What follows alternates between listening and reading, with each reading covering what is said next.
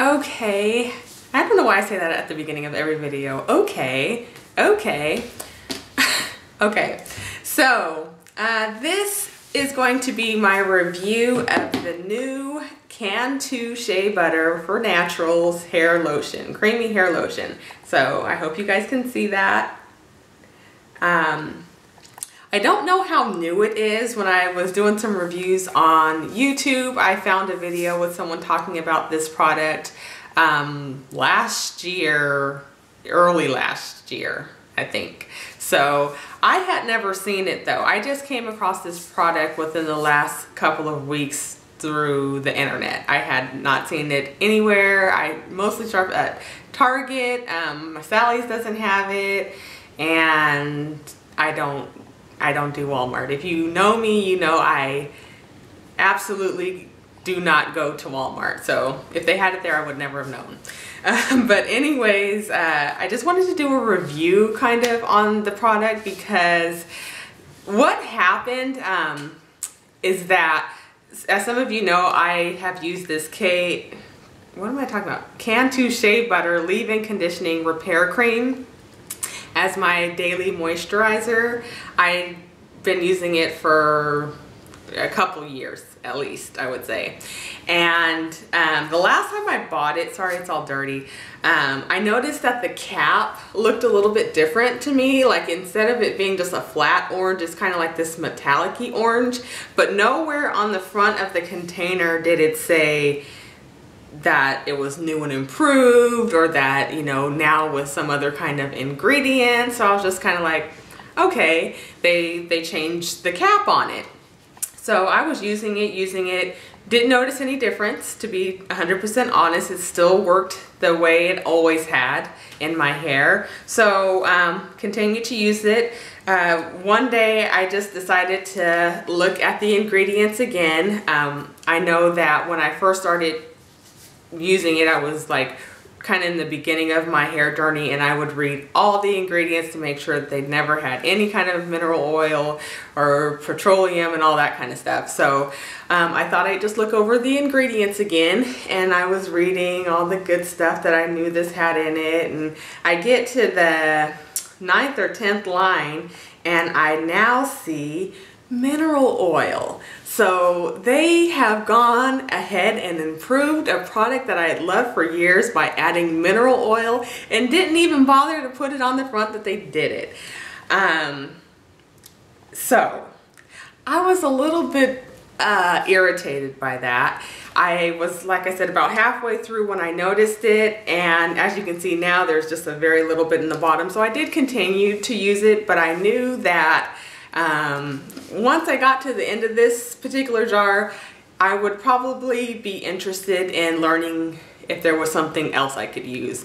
Um, I just don't want to use it if it's going to have mineral oil in it. And yeah, like I said, it is the ninth or 10th item, not ninth or 10th item, on the ninth or 10th line. So there's just like a ton of other stuff before it. So it probably has very little mineral oil in it, but still I just, I don't want mineral oil in my products. So, um, as this was nearing the end, which you can see it's almost there, I started doing some research on mostly YouTube and some of the hair boards and I learned about this. So I was like, it's by um, Cantu, it's a moisturizer, um, it's uh, saying it's for natural hair, but I mean, why is what makes it for natural hair? It's a moisturizer, just like a shampoo that's for, you know, naturals. It's to cleanse the hair, right? So whatever. So um, I know that a lot of naturals are familiar with this because it was included in one of those monthly subscriptions. Um, I don't know if it's called a curl kit or a curl box or something that a lot of naturals subscribe to and they received, I think earlier this year in one of their um, boxes. And a lot of them were raving about it that they really, really like this product. So of course, you know, I did some research on what the ingredients are and a lot of the great ingredients that are in here are also in here, but minus anything bad. It actually says on the back, no mineral oil, sulfates, parabens, silicones, I don't know what that word is, um, gluten, paraffin, something glycol, PABA, or DEA.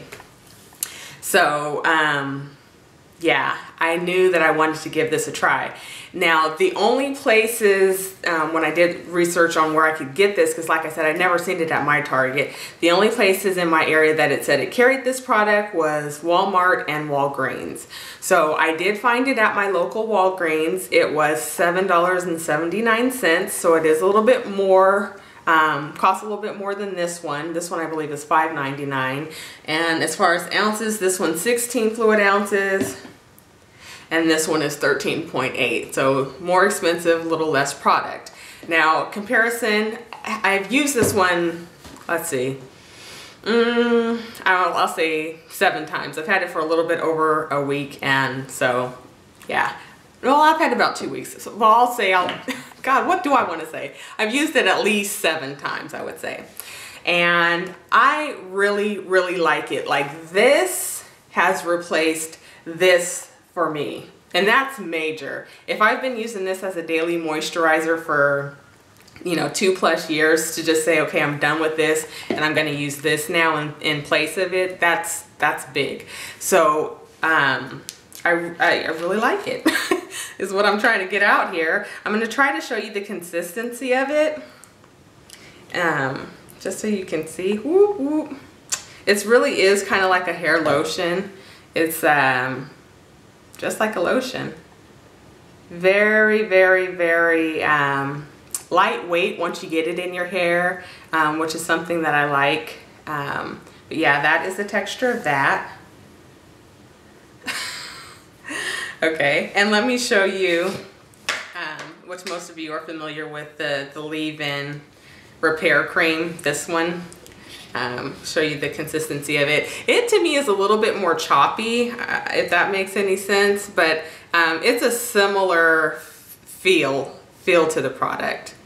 So um, they feel similar in the hair, they work similar.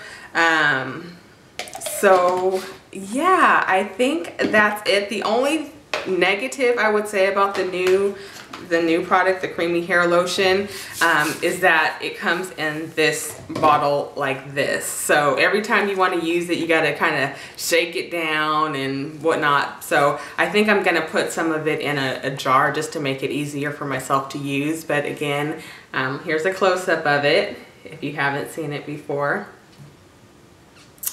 and I really like it. So that is my review of this product. Thank you so much for watching and I'll see you on the next video. Bye-bye.